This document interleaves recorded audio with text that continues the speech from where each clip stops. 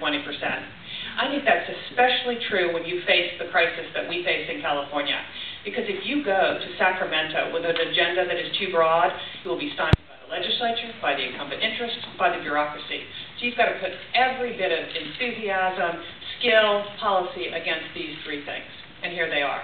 First and foremost, we have to create and keep jobs in California. If we do not put Californians back to work, there is no way out of this mess. So priority number one has got to put Californians back to work, which means we fundamentally have to change the business climate in California. You probably know that we are bleeding jobs to Colorado, Arizona, Utah, Texas. And you know why? It's simpler and easier and cheaper to do business.